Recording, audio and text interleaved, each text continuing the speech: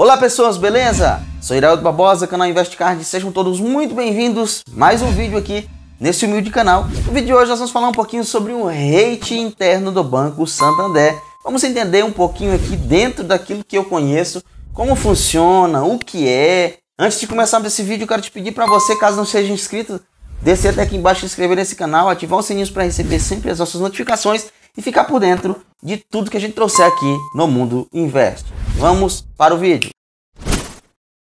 Para começarmos aqui esse vídeo, nós temos que entender o que, que é o rate interno do Banco Santander, para que serve, por que foi criado e como é que eu posso fazer para aumentar esse rate do Banco Santander. Em primeiro lugar, nós temos que entender que o rate nada mais é do que uma pontuação interna dentro da instituição Santander Brasil.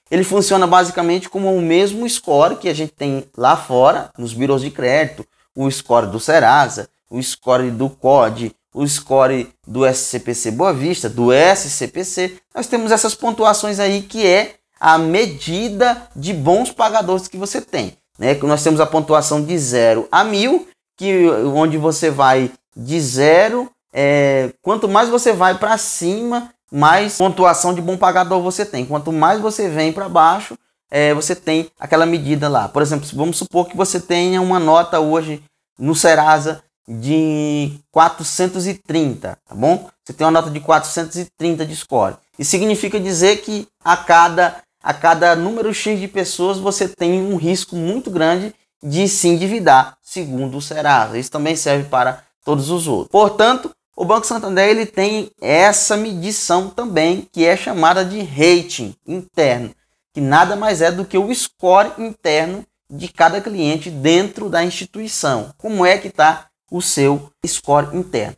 Baseado nesse score interno, o Santander ele pode te liberar algumas linhas de crédito. Por isso é que pessoas, algumas pessoas têm facilidade para receber aumento de limite, outras são barradas, porque existe questão do score interno. E para que foi criado esse rate do Banco Santander? Simples. As instituições todas elas estão criando meios para se, se ver cada dia mais é, independentes, não depender tanto dos birôs de crédito. Tirar o os birôs de crédito. Os birôs de crédito ainda servem ainda. Serasa ainda é muito consultado. Porém, com informações com, complementar. Como assim? Quando eles não têm uma informação mais completa da pessoa, eles, eles vão lá nesse, nesse, no Serasa, no, no score interno, eles dão uma olhada lá na, na capivara da pessoa, no sistema externo do, do Banco Santander, e ali eles comple, complementam apenas, eles complementam porque eles já têm dentro da instituição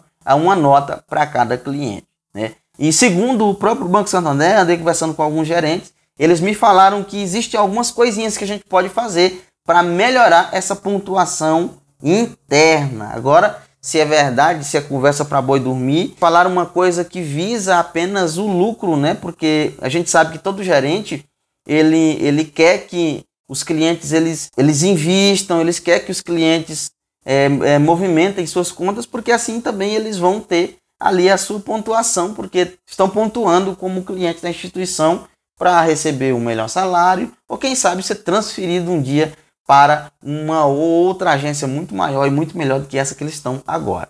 Então, eles me passaram aqui algumas coisas que contribuem sim para o aumento do rate interno. Por exemplo, investimento na base de investimentos da instituição. Todos nós sabemos que os bancões eles não possuem uma boa linha de investimento. Como assim?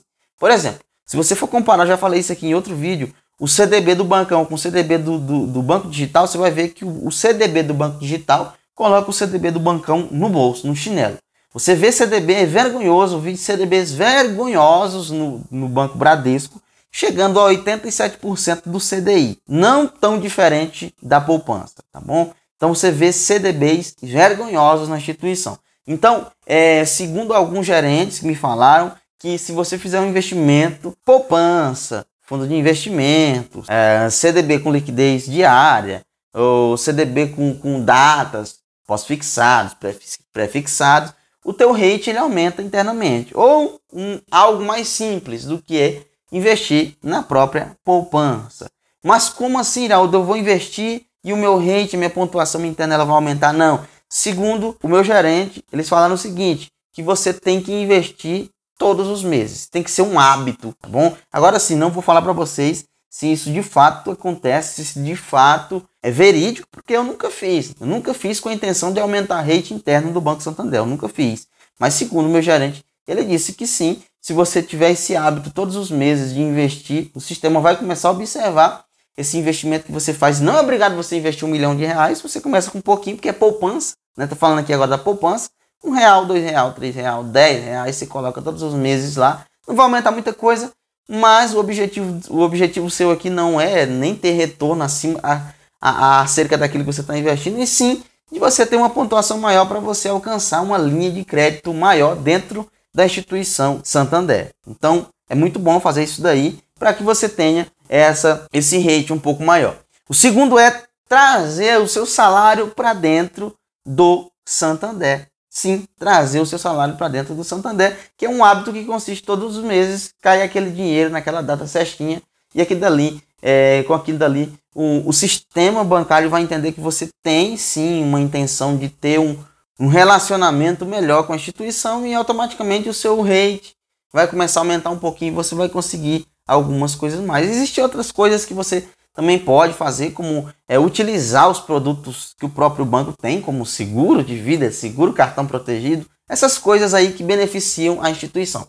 A gente sabe que a instituição elas querem que você utilize o máximo possível dos produtos que ela tenha. E, volto a repetir, não vou dizer que isso funcione para 100% das pessoas, que vai dar certo para você. Eu mesmo nunca quis fazer isso, né? E também não tenho interesse em fazer isso para aumentar a rede, tá bom? Se eu não conseguir aumentar minha linha de crédito que eu tenho dentro, dentro do Santander, é, com as movimentações que eu já tenho, sem precisar de investimentos e investimentos toscos que tem dentro do próprio Santander, eu prefiro encerrar o vínculo com é, a instituição e pronto. Mas se você quiser, você é cliente do Santander e dá certo para você, beleza. Iraldo, eu não faço nada disso e eu consigo linhas de crédito interessantes, consigo aumentos interessantes também.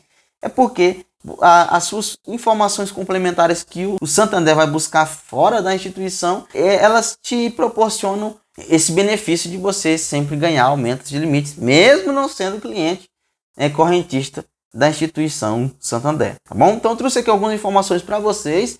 Caso vocês estejam achando que apenas o fato de atualizar a renda você vai conseguir linhas de crédito no Santander, está redondamente enganado, tá bom? Então tire isso da sua cabeça é, a atualização de renda dentro do Santander não vai resolver sua vida. Não vai, eu sei que é complicado, eu estou tendo esse problema para atualizar a renda no Santander, mas a atualização de renda em si não vai resolver teu problema. O que vai resolver teu problema é o rate interno. E como é que eu faço para saber qual que é a minha pontuação? Procurando o seu gerente. Ele vai dizer para você qual que é a sua pontuação interna, tá bom? Então, se eu te ajudei, se você tem alguma informação complementar esse vídeo que eu esqueci de trazer aqui, porque já gravei muito vídeo hoje e tô assim. Pode deixar aqui nos comentários também, pode mandar também é, nas nossas redes sociais, que qualquer coisa a gente pode fazer um novo vídeo complementando este vídeo, tá bom? Quero desejar boa sorte para todos vocês que estão querendo aumento de limites e linhas de crédito dentro do Banco Santander. Não serve apenas para o Banco Santander, serve para qualquer instituição, porque todas elas têm a sua pontuação interna, tá bom? Então, Massacra esse vídeo com o teu like, compartilha esse vídeo no grupo que você participa e até o próximo vídeo. Tchau, fui!